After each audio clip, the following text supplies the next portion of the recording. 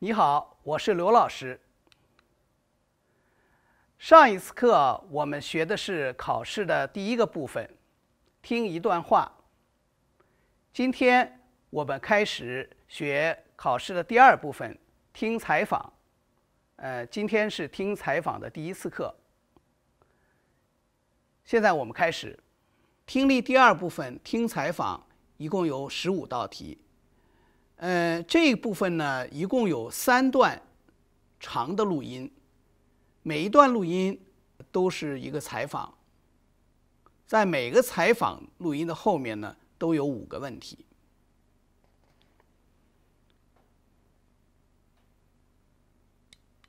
那么今天呢，我们要讲的是第一个考点与难点，就是采访结构和谈话思路。这个采访就是一种对话，但是这采访与日常生活中的对话是有些不同的。嗯，采访有一定的结构特点，采访者是根据自己的采访意图来提问的，而被采访的人呢，因为是边想边说，所以他的谈话中有时候会有一些重复，呃，补充说明、解释等等。那么，怎么样在这样的谈话当中抓住需要的信息，答对题目？这个呢是一个考点。呃，我们先来看一个例子吧。大家可以把这个五个选项先看一下。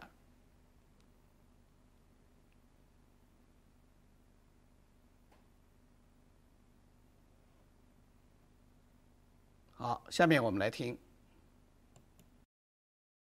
第二十六到三十题是根据下面一段采访。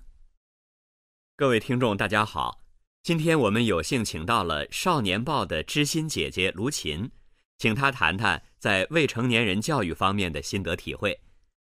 请问您是从什么时候开始从事教育工作的？又是什么让您能够一直在教育工作上探索呢？我到《少年报》工作已经有二十九年了。我从小就想当知心姐姐，因为我是从小看着《少年报》长大的。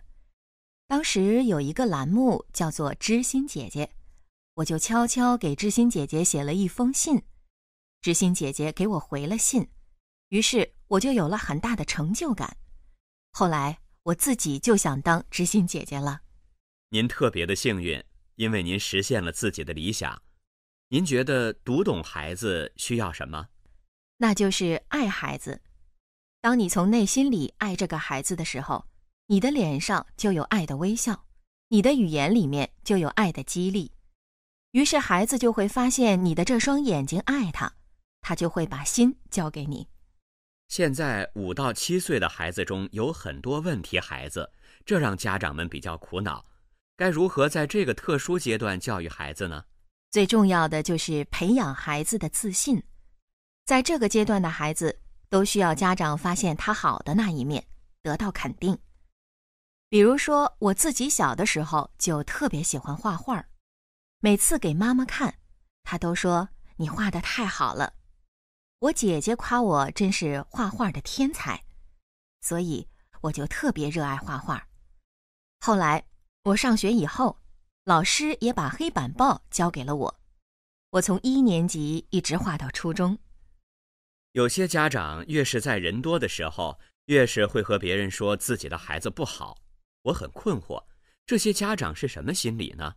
这种情况比较普遍，很多家长愿意当着别人的面说孩子的不好。这个时候，可能是因为他总对自己的孩子期望值很高。如果这个孩子本身有一点毛病，他就会把这个毛病看得比天还大，这就会进入一种恶性循环。看来教育孩子的确有不少学问，我们每一个家长都得好好学习呀。二十六，女的为什么想当知心姐姐？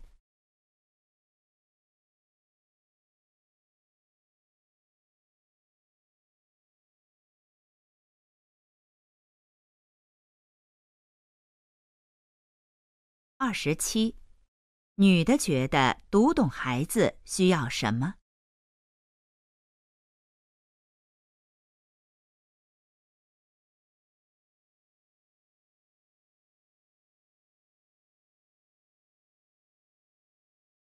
二十八，女的讲自己画画的经历是为了说明什么？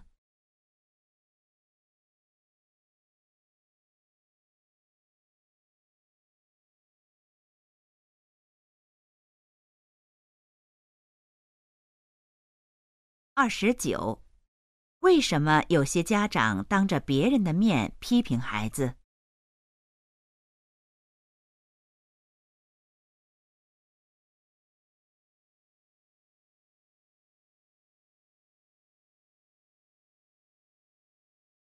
三十，关于女的可以知道什么？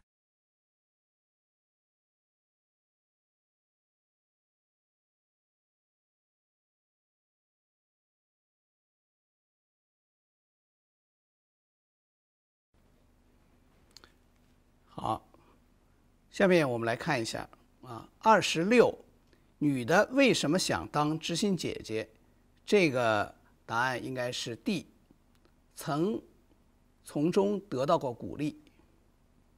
二十七，女的觉得读懂孩子需要什么？这个答案呢应该是 C，对孩子有爱心。二十八。女的讲自己画画的经历是为了说明什么？这个答案呢应该是 B，帮孩子建立自信。二十九，为什么有些家长当着别人的面批评孩子？这个答案应该是 D，对孩子期望值太高。三十，关于女的可以知道什么？答案应该是 C，在少年报工作。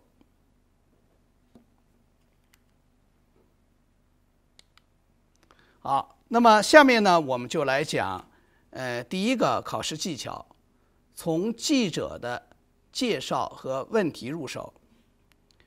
嗯，采访的开头经常有一段记者的开场白，一般是对被采访人，呃的一个简要的介绍。呃，这个是非常重要的，这呢能够使我们对被采访人的身份。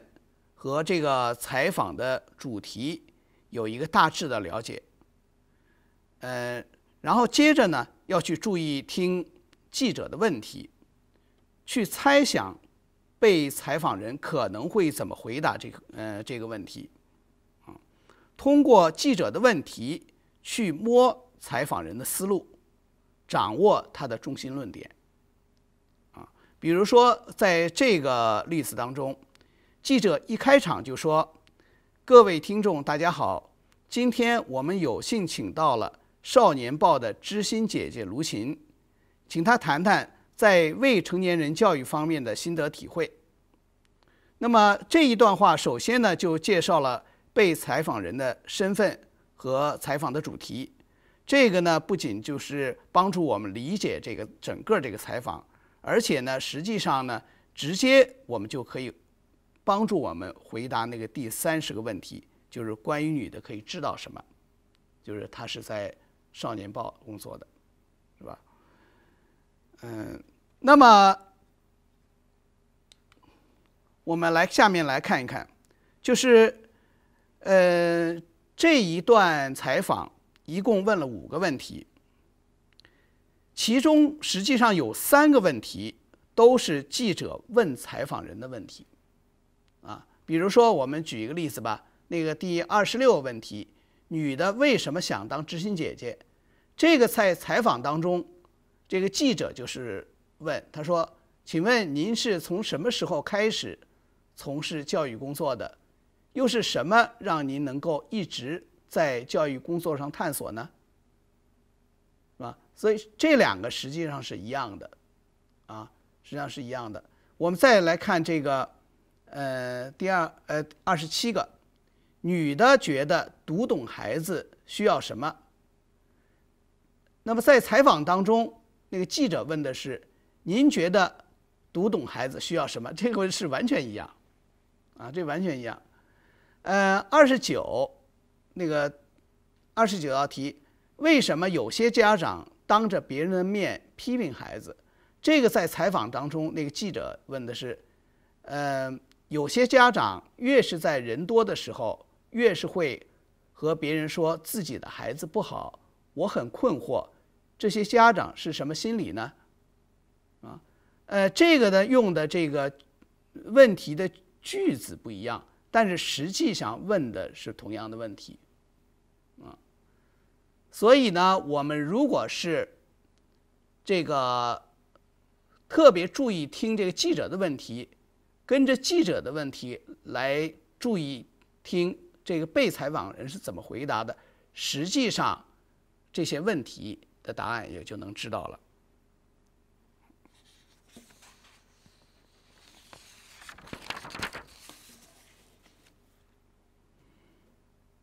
那个呃，由于这个记者的那个介绍和问题呢，他是事先准备好的，是吧？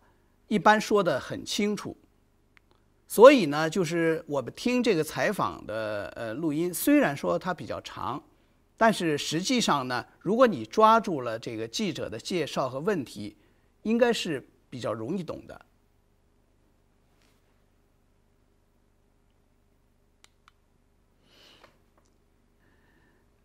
第二个考试技巧是抓住被采访人的思路。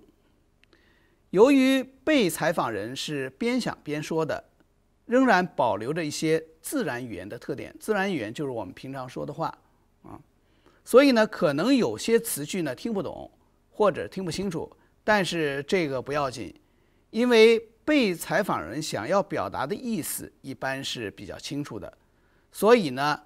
只要抓住了被采访人的思路，即使有个别的词句听不懂，也没关系。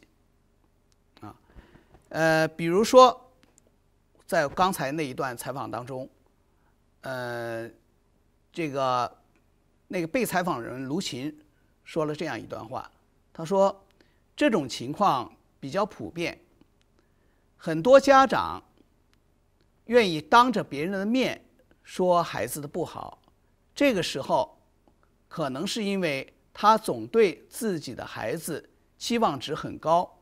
如果这个孩子本身有一点毛病，他就会把这个毛病看得比天还大，这就会进入一种恶性循环。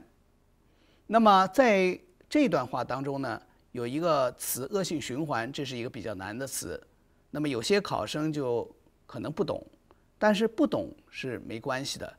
啊，因为它这个题目并不是要考这个词，所以呢，你只要抓住了这段话的主要的意思，你就能答对。我们来看一下这个题目和选项。这个题目是为什么有些家长当着别人的面批评孩子？A 表示谦虚，B。激励孩子，C，孩子表现太差，D，对孩子期望值太高，是吧？在这里并没有出现那个非常难的词，所以只要抓住了他刚才回答当中的主要的意思，抓住了就是对孩子期望值太高这一点，就能回答对。所以这个呢，就是我们的第二考试技巧，就是由于他采访这一部分主要要考的，呃。不是这个对个别词句的理解，而是要考这个说话人要表达的观点，所以有个别词听不懂也没关系。好，下面呢，呃，我们就来呃练习一下，请你听一段采访，然后做五个题，看看你做的对不对。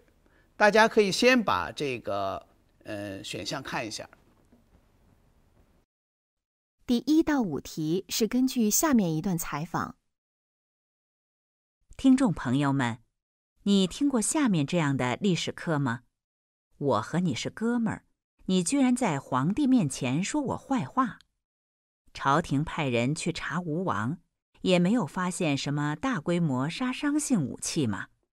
这样的历史课尽量不用专业术语和文言，而是以现代语言讲古代生活。非常通俗易懂，厦门大学教授易中天就是用这种手法将汉代的历史生动地讲述出来。易中天主讲的《汉代风云人物，是中央电视台百家讲坛中的一个很有人气的节目。近期，他的讲稿也将正式出版。记者采访了易中天教授。易教授，有人认为您应该专门讲讲历史学家司马迁，但您却没讲，为什么？我曾经说过，我们可以没有汉武帝，但不能没有司马迁。司马迁在中国历史上的作用是至关重要的，但是司马迁又不是适合百家讲坛来讲述的人物，因为这个节目面对的是广大的电视观众，挑选人物的时候就要偏重于戏剧性。而不是从一个人物的学术分量的角度来判断的。听说电视剧司马迁的收视率就不理想，所以说一个人物重要，但不一定讲出来好听。汉代对中国人影响深远，您认为汉代是个什么样的时代？我认为汉代是我们民族的一个上升阶段，前面是春秋战国，是我们民族思想最活跃的黄金时代。春秋战国就相当于西方的古希腊时代，接下来的汉代是我们民族的成年期。这个时期，一方面有青少年的青春活力，另一方面又开始走向成熟，在哲学上思考宇宙人生，政治上建立一个大一统的制度。在这个节目中，您特别介绍了韩信、项羽等几位悲剧人物。您认为他们在政治上的失败是什么原因造成的呢？这些人物的失败，并不只是由于社会的原因，还要看到他们人格上的缺陷。比如说韩信，他的重要的问题就是不彻底。他对刘邦有忠诚的一面，却没有忠诚到底，成为一个忠臣；也有反叛的一面，但是没有成为一个彻底的反贼。这与他人格的缺陷有关。项羽是匹夫之勇，也是一大缺陷，但他是一个本色英雄，得到后人很多的同情。我现在要做的事情，就是要告诉大家，项羽不仅有值得同情、值得喜欢的一面，他也是有缺陷的。现在我要做的事情，就是纠正以往评论历史人物的一个误区，就是一说到某个人物，这个人是君子，那个人是小人，完全把人物脸谱化。其实每个历史人物都是很复杂的。一，关于易教授，我们知道什么？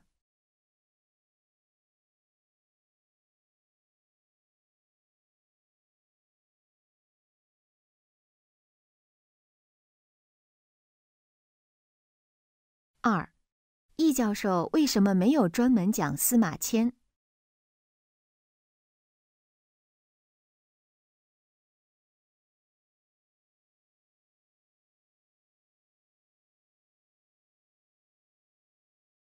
三，易教授认为汉代是个什么样的时代？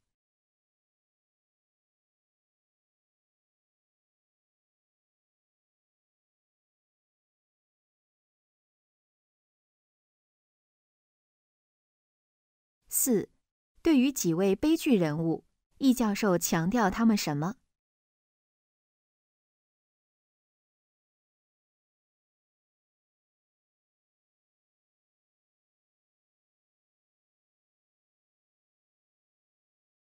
五，易教授认为以往评价历史人物的误区是什么？